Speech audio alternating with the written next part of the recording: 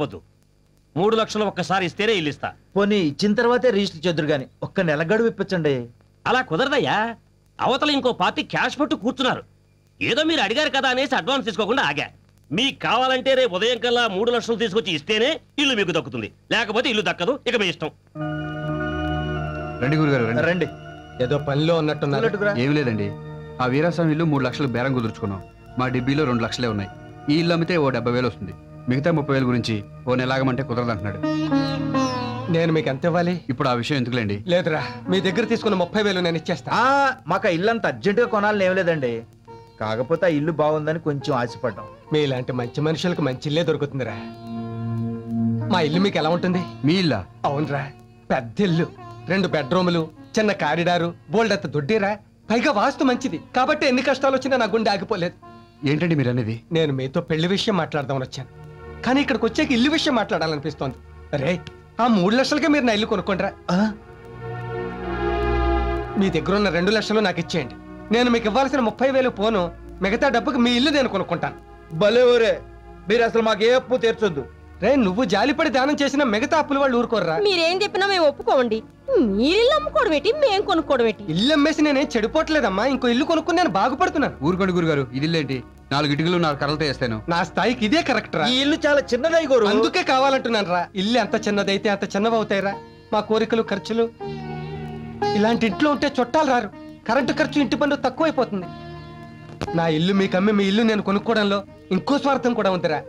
నువ్వు నా ఇల్లు కొంటే నాకంటే నువ్వు ఉన్నోడివి గొప్పోడివి అవుతావురా. అప్పుడు నా కూతురు నీకు ఇచ్చి పెళ్ళి చేస్తే గొప్ప సంబంధం తెచ్చానని నన్ను అందరూ మెచ్చుకుంటారా నా కూతుర్ని పెళ్ళి చేసుకున్నాక కోడలు వచ్చిన వేళ కొత్త ఇల్లు కొన్నారని పది మంది చెప్పుకుంటే నా మూడో కూతురు కూడా మంచి సంబంధం వస్తుందమ్మా. ఎంతకాలం ఏది కావాలన్నా అడగకుండానే ఇచ్చారు. ఇప్పుడు అడుగుతున్నాను. ఆ రెండు లక్షలు ఈ ఇల్లు నాకిస్తే నా అప్పులు అవసరాలు తీరి నా కష్టాలన్నీ గట్టెక్కుతాయి. దయచేసి కాదనకు దేవుడు.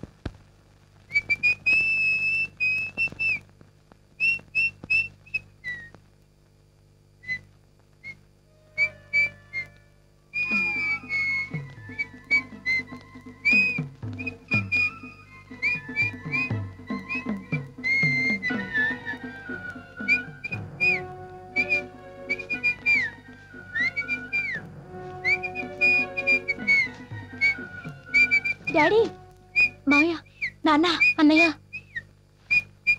ఏమండి? ఏమైందండి మీకు? మధ్య తరగతి వాడు నవ్వినా అనుమానమే. నాకేం పిచ్చి పట్టలేదు ఎవ్వరూ భయపడకండి.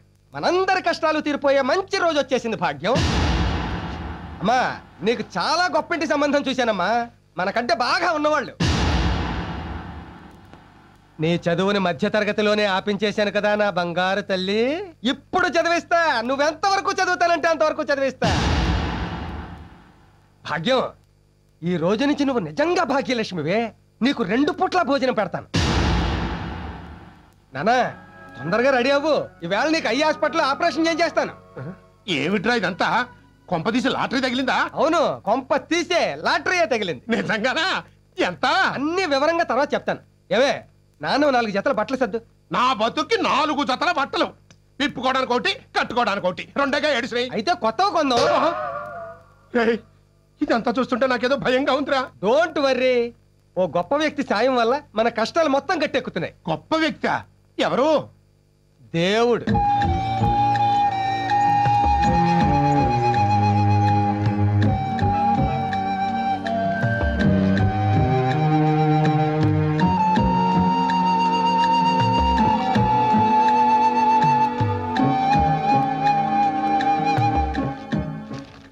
నానా మ్మ్. ఇక్కడ సంతకం పెట్టు.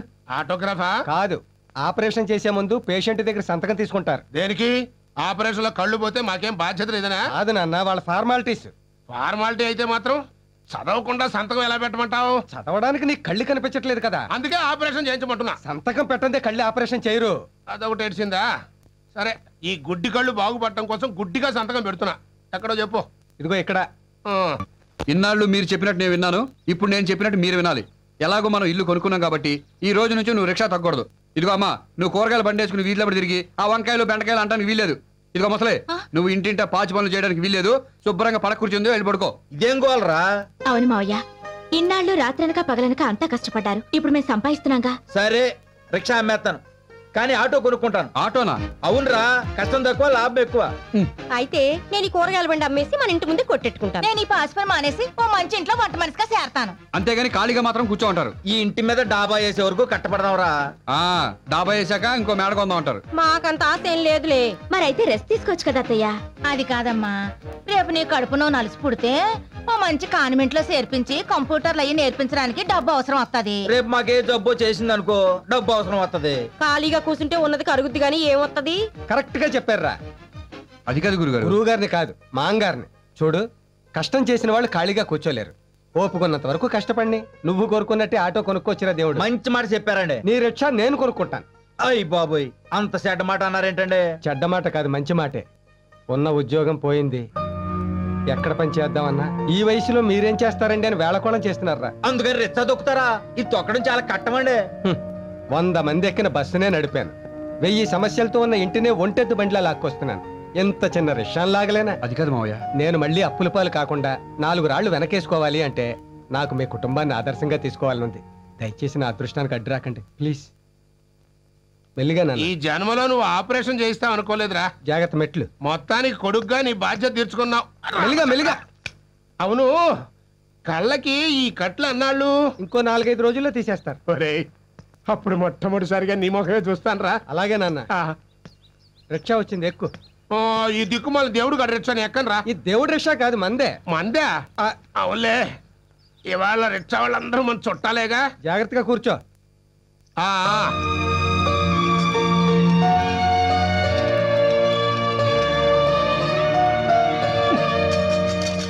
ఒరేయ్ దరిద్రుడా నాకంటే కళ్ళు కనపడి సావు.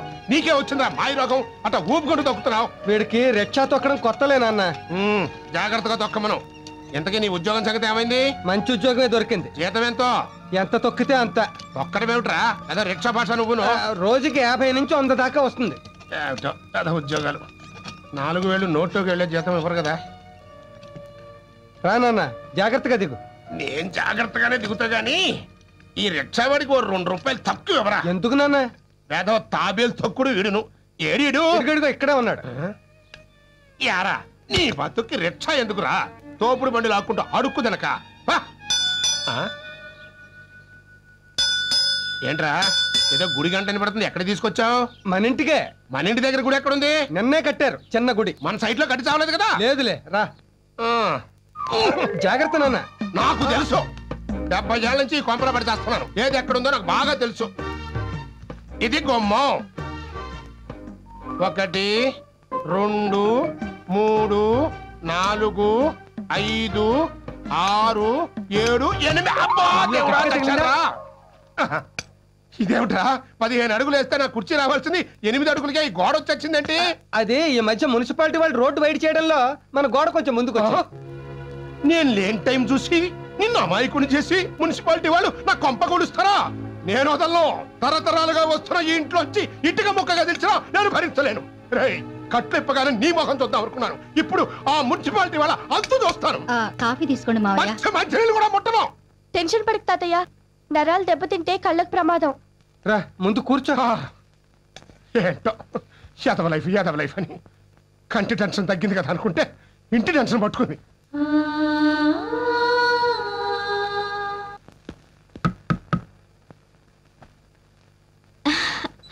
రా అన్నయ్య ఉం. ఓ నేను జైల్లో ఉండగా నీకు పెళ్ళి కూడా చేసేసాడా ఎవరు గాయత్రి? ఓ బావగారు మీరా? ఏయ్ ఎవడరా నీకు బావగారు? ఆ? ఏం బాబు బాగున్నావా? ఆ? ఏ ఏంటి ఇది? లేబర్ వాళ్ళంతా తీసుకొచ్చి ఇంట్లో పెట్టారు? అన్నయ్య మాటలు మర్యాదగా రాని. ఆయన మా ఆయన. వాళ్ళు మా అత్త మావలు వాట్? వీడు నీ మొగుడు వాళ్ళు నీ అత్తామావలున్నా అవును. చెయ్ ఇంత లో క్లాస్ వాళ్ళని చేసుకోవడానికి నీకు చేయించడానికి వాడికి సిగ్గులేదు అది కాదు బాబు. పోండి. అందరూ బయటికి పండి. హలో. అవుట్ ఆవేశపడకు. ఇది నీళ్ళు కాదు నా ఇల్లు. నీళ్ళ అంటే దీన్ని కట్టం కింద కొట్టేసావా? కొట్టేయలేదు కష్టపడి కొనుక్కున్నారు. కొనడానికి వీళ్ళెవరు? అమ్మడానికి వాడేవాడు? ఏడి? ఏడివాడు?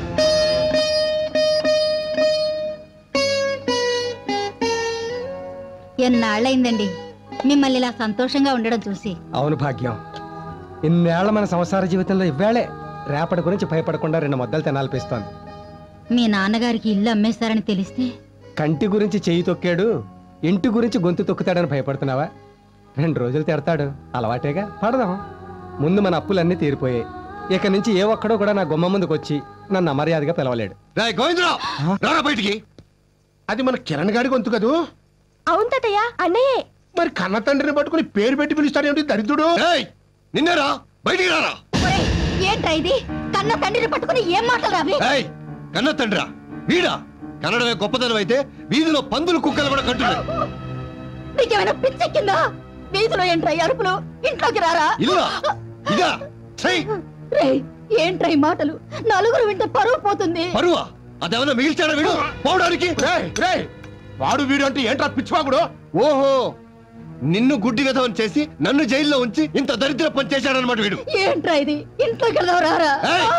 ఈ లేబర్ విధవుల కొంపలో చస్తే అడుగు పెట్టను లేబర్ కంప్లైంట్రా ఇది మన మొత్తాతల నుంచి వస్తాను ఇల్లు. ఓరి నా గుడ్డి గ్రాండ్ ఫాదరు నీ కొడుకు మన కొంపన రిక్షావాడికి అమ్మేసి ఆ రిక్షావాడి కొంపని వీడు కొన్నాడు. మన ఎంత పని ఎడు,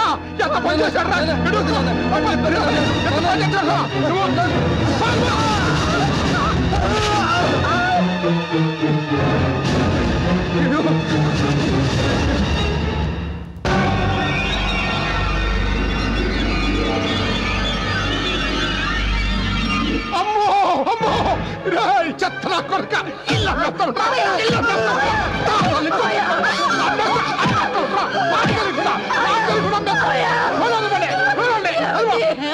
అయినా వాడు అమితా మాత్రం గుడ్డిగా నువ్వు సంతకం ఎలా పెట్టి చచ్చావు? అవును ఎలా పెడి చచ్చాను? ఆ, ఆ, ఆసుపత్రిలో ఆపరేషన్ కోసమని అమ్మ నా కొడుకు గుడ్డోని చేసి.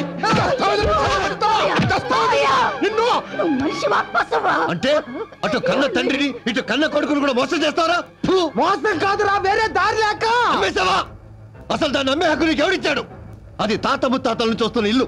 దాన్ని అనుభవించే అధికారం నీకు ఉందే గానీ మా అనుమతి లేకుండా అమ్మేసే అధికారం నీకు లేదు. ఒకవేళ నా సంతకం లేకుండా రిజిస్ట్రేషన్ చేసినా అది చల్లదు. చల్లనివ్వను తాతయ్య మన ఇల్లుని ఎలా దక్కించుకోవాలో నాకు బాగా తెలుసు. నాతోరా